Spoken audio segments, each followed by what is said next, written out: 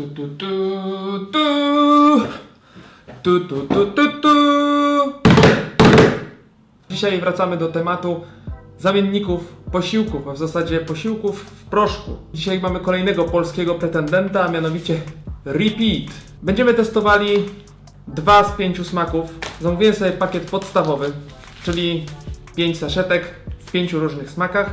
Ogólnie dostępne są smaki wanilia, banan, owoce leśne, original i czekolada. Original to jest tak naprawdę taki bezsmakowy proszek, w sensie wszystkie są original plus mają jeszcze dodatkowo dodatki smakowe, takie jak na przykład czekolada, ale dzisiaj przetestuję dwa z nich.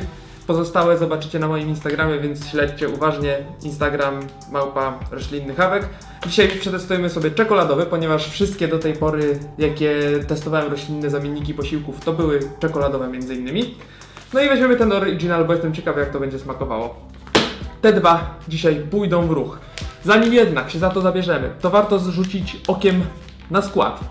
Pierwsza rzecz, która jest, e, różni się troszeczkę od tych, które do tej pory próbowałem, to to, że tutaj mamy 410 kalorii w 100 gramach. Zazwyczaj było to 400, 390 coś, więc tutaj jest delikatnie więcej. E, Druga rzecz to to, że zazwyczaj rozpuszczaliśmy te proszki w 300 bądź 400 ml wody lub mleka. Tutaj jest mowa o 500 ml, więc będzie to trochę więcej do wypicia.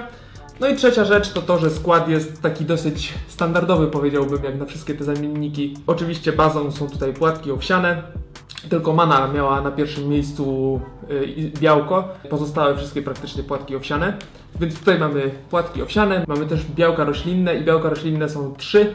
Jest to grochowe, z ryżu brązowego i z konopi, więc profil aminokwasowy całkiem spoko. Mamy tutaj mieszankę, nie mamy jakby białka z jednego źródła, to na pewno na plus. Jeżeli chodzi o to, czym to jest słodzone, to jest słodzone sukralozą. To też jest raczej standard, jeżeli chodzi o te zamienniki posiłków. No i jakby sukraloza nie jest niczym złym. Jeżeli chodzi o makro, jakie ma jeden taki posiłek, to mamy tutaj 13 gramów tłuszczu, z czego 2 to kwasy tłuszczowe nasycone, więc tłuszczu nie ma tak aż dużo. Powiem Wam, że tych poprzednich, które piłem, to tego tłuszczu było więcej.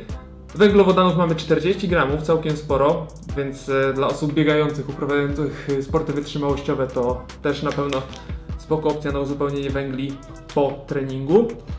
No i w sumie przed treningiem też. Błonnika mamy tutaj 8,5 grama, białka 29 gramów, a jako, że jest to białko zróżnicowane, to powinno być też całkiem dobrze wchłaniane.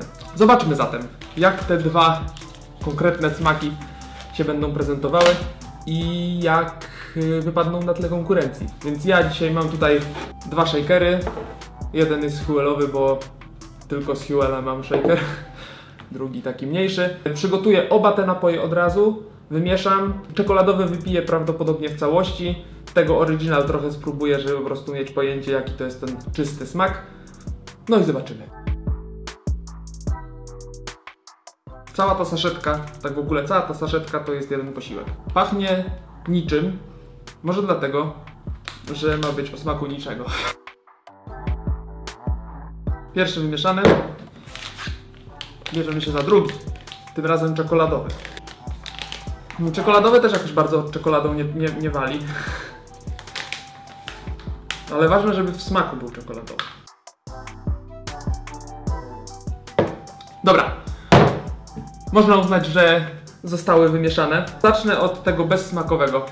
To, co już mi się rzuciło w oczy, to to, że jeżeli chodzi o konsystencję i o to, jak tutaj widać kawałki płatków owsianych, to bardzo mi to przypomina Huela. Zobaczymy, jak będzie w smaku. To jest ten original, czyli ten bez dodatków smakowych. I pachnie bardzo podobnie do Huela. to jest bardzo ciekawe. Zobaczmy zatem, jak będzie w smaku. Więc tak, jeżeli chodzi o konsystencję, to jest y, ciekawie, bo dodajemy też dużo więcej wody niż y, przy pozostałych, więc jest to bardziej wodniste. Przez to czuję, że tych grudek nie ma tyle, co czasami zdarzało się przy konkurentach. Jeżeli chodzi o smak, to jak na coś, co nie jest słodzone, to smakuje naprawdę spoko. No smakuje to trochę jak taka owsianka płynie. Jeżeli by dodać tutaj sobie jakichś swoich ulubionych dodatków, lekko to posłodzić, to prawdopodobnie byłoby to całkiem, całkiem ok. Tutaj chciałem tylko sprawdzić, jak smakuje ta baza. sprawdziłem. Wydaje się być w porządku, ale tak naprawdę główny kandydat tutaj do sprawdzania to jest ten czekoladowy. Bo tutaj będę mógł go porównać z tymi, które do tej pory już piłem. Czekolada z kolei przez to, że jest więcej tej wody, tej wody sprawia wrażenie takiej lekko rozwodnionej.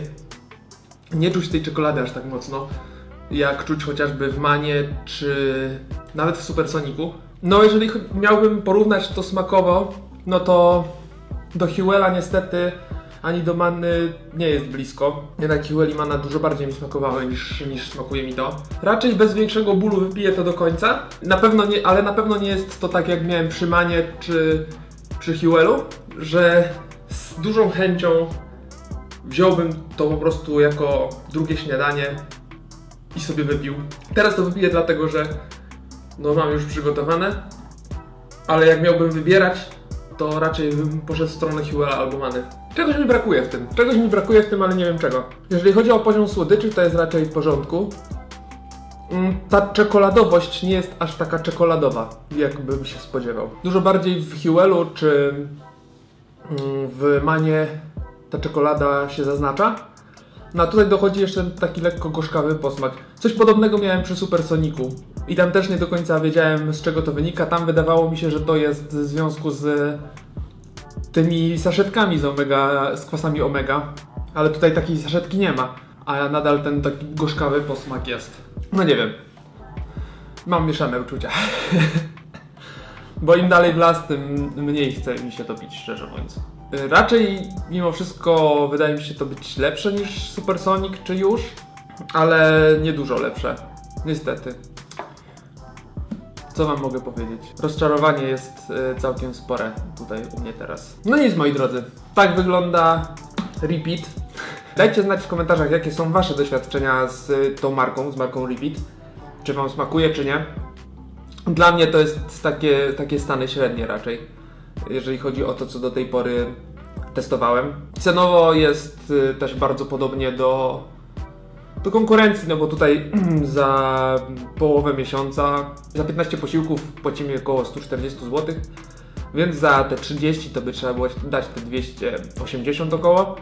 Czyli bardzo podobnie jak kosztuje Hewell, jak kosztuje Mana. W zasadzie jak wszystkie kosztują. Za chwilkę jeszcze zanim ten materiał się skończy, wyświetlę Wam planszę, na której e, tak w dużym skrócie podzielę się z Wami swoimi spostrzeżeniami na jak długo taki posiłek mi starczył. Zazwyczaj przy tych posiłkach były to 3 godziny około, 3-3,5 czasami. Tutaj też zobaczę za jaki czas będę znowu głodny.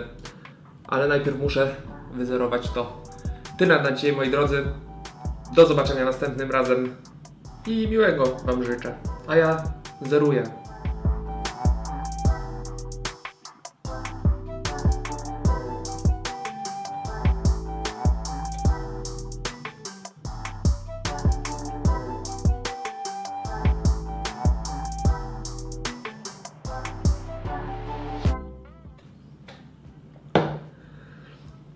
Wypiłem, ale się nie cieszyłem.